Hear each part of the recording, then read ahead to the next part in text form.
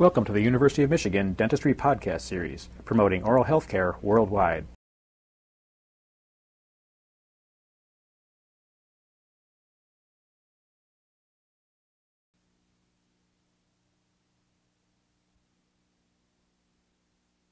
Our patient is 23-year-old Ralph Fletcher, a candidate for orthodontic surgery. Ralph, open and close your jaws, please. Open widely. Now close till your teeth are all the way together. That's fine. Now relax your lips a little bit and just let your jaw hang. Now close tight as you can. Now we'll look at this from the front. In front view, we will see uh, Mr. Fletcher has proportionately a relatively long lower third of the face. Would you now open widely, Ralph? Just open your mouth as wide as you can and close your teeth again together. Open again and close. Now, with the help of cheek retractors, we'll come in for more detail of what occlusal contacts there may be here. And now, Ralph, if you will try to open again and close. Here we will see the obvious extreme open bite, the minimal contact posteriorly. Try to open again and close again.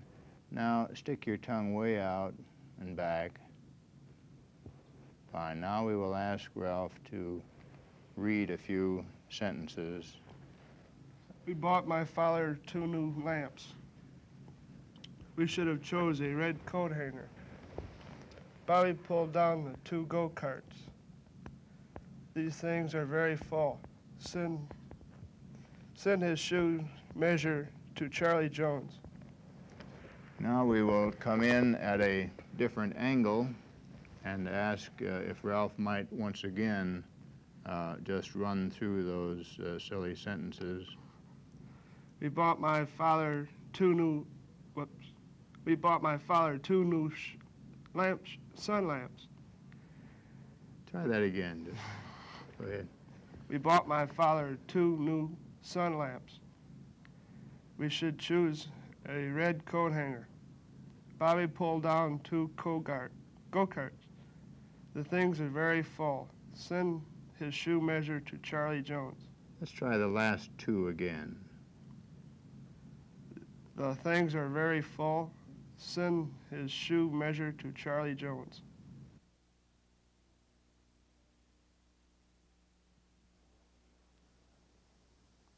We're going to have the opportunity to follow the progress of Mr. Ralph Fletcher uh, through his course of treatment. It was five weeks ago that uh, Ralph had his surgery, and uh, we'll just find out how he's getting along. Are you uh, back at work now, Ralph? Yes, I am. What sort of work do you do? Oh, carry out boy. What about having these teeth together? Is that bothering you very much? No. Okay. We'll uh, have a look at uh, Ralph in some detail, but just to remind you uh, of the preoperative conditions, let's look at the radiographs. The lateral cephalogram uh, shown here uh, gives us the type of open bite deformity uh, which he has. You can see that this tracing has been made on the preoperative uh, radiograph. And to get a little better detail on that, we can see here the extent to which the bite was open anteriorly. The operation that was carried out for him we'll review uh, in a moment with the help of some study casts, but you can see the lack of function that he had in contacting only the second molars back here with absolutely no anterior contact at all. Note also the height of this anterior mandible.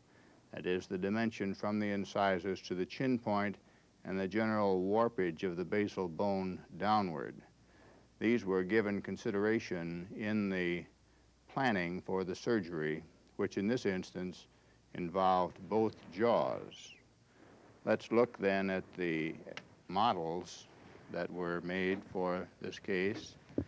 And on your left, you see the preoperative casts, the relationship of these uh, teeth at that time. And uh, with these lines as a reference point, we can see roughly where uh, the contact of the posterior teeth was made and the extent of the anterior open bite. Now, in the planning, it was uh, indicated to try to distribute the correction in both jaws.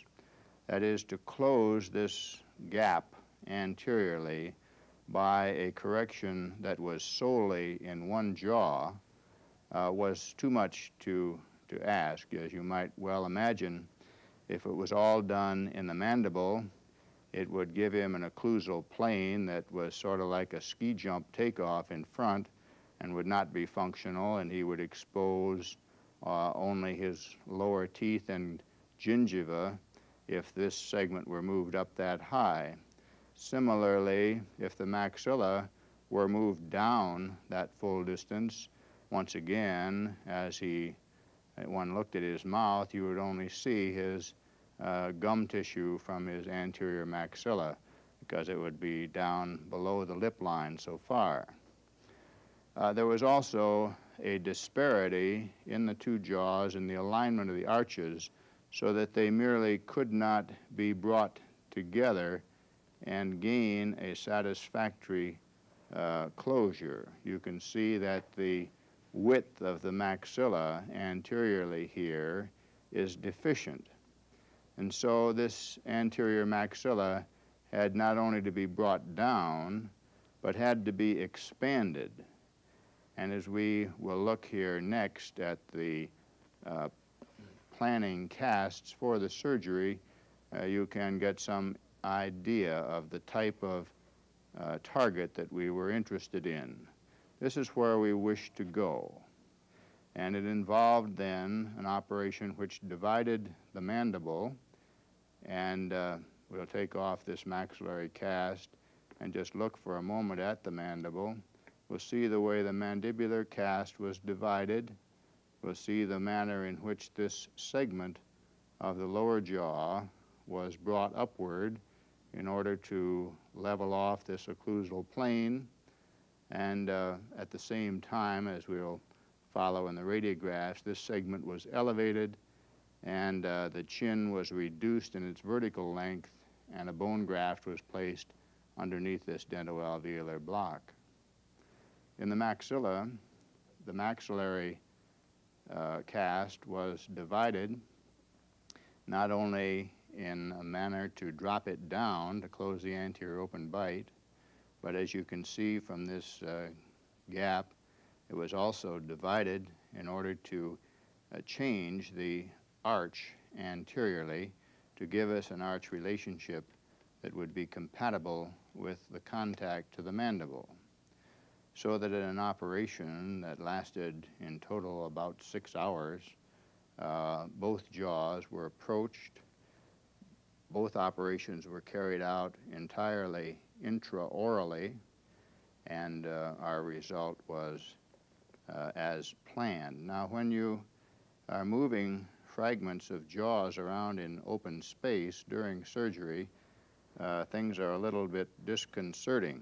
So, as guides for accuracy in the placement of the various segments, these acrylic templates were utilized. For example, this one was helpful in the uh, placement of the target position for the mandibular segment upward uh, to that registration, whereas in the maxilla, similarly, this registration was helpful.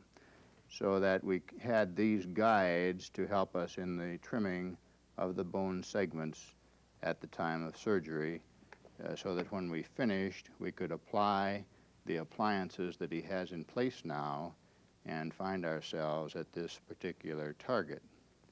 We would now look at the postoperative radiograph and see the changes that were brought about in this uh, procedure.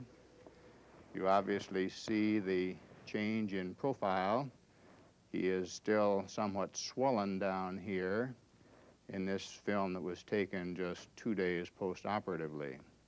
One sees the metal appliances that are in place, uh, holding the jaws in their new position.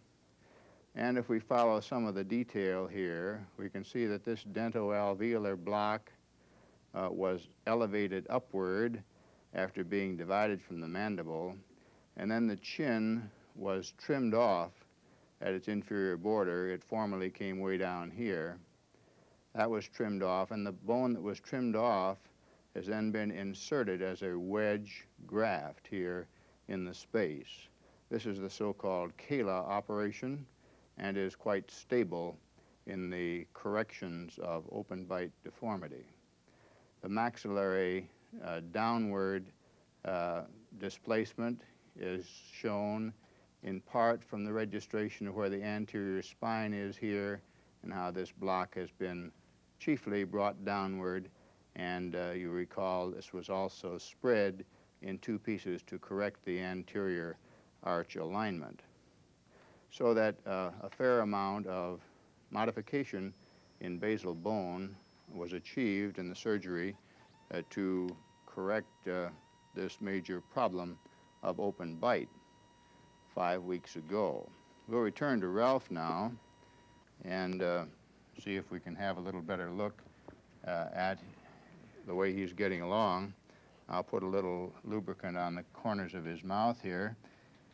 He has uh, all of this was done intraorally, and uh, the lower or mandibular uh, area was degloved. His lower lip was retracted completely uh, down to expose the mandible below the inferior border where the surgery was done. Just kind of show us your teeth, will you? He has good function there. There's been no seventh nerve uh, disturbance, and I'll try to slip in these retractors now so you can get a little better view of the hardware that he has in place and that he's tolerated. Turn to the right a little bit toward me. Well, that's good.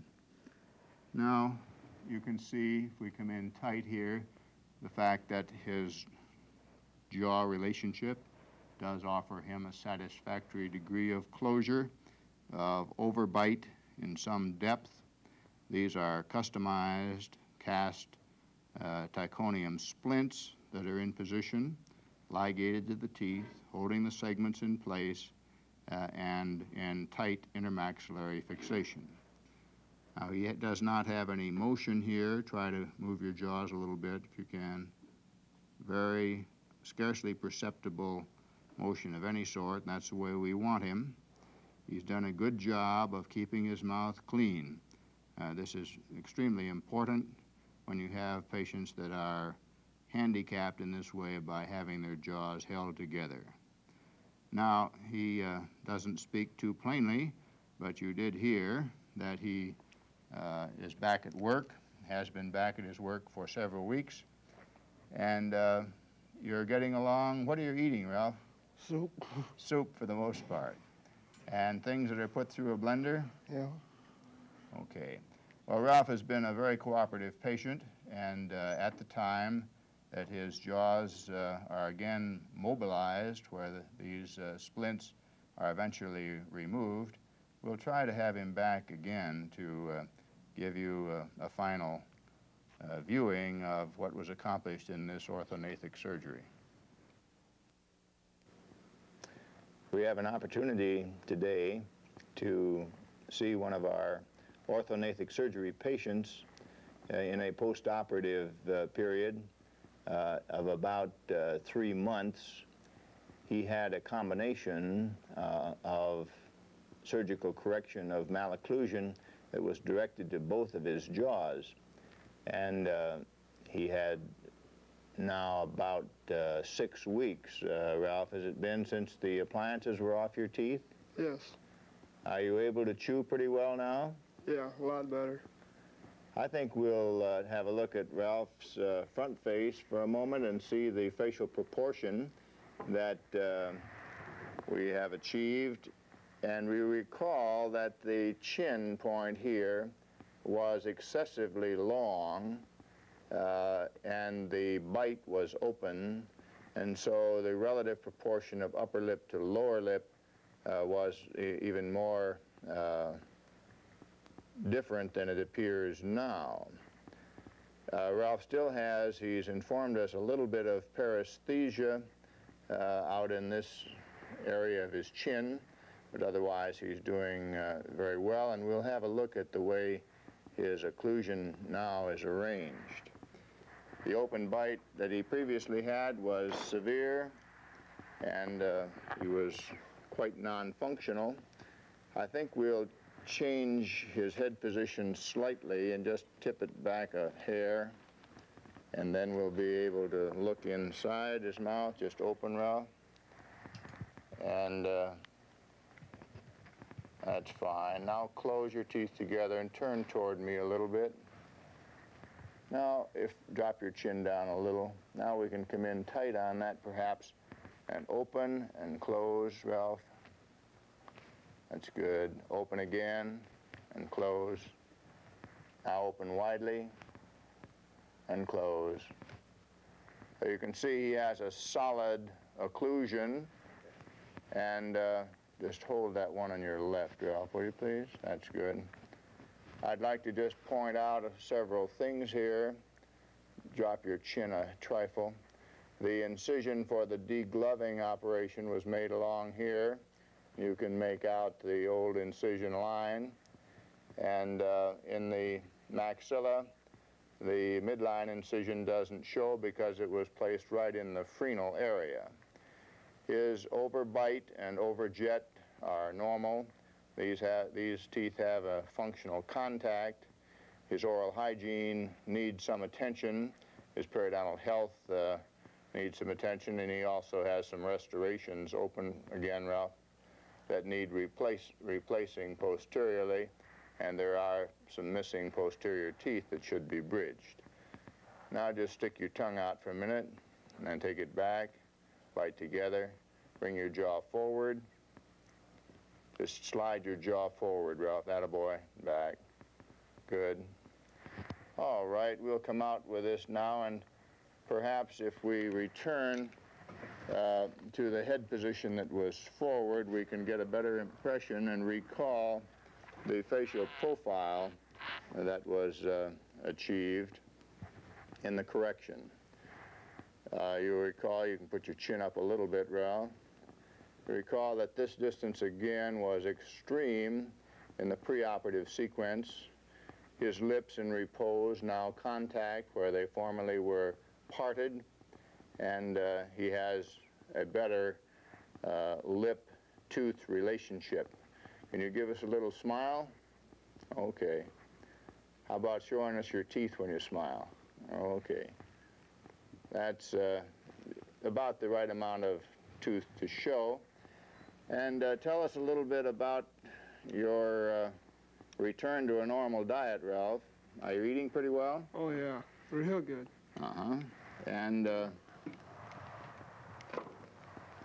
You still have a little numbness in your lip? No, it's just mostly right in there.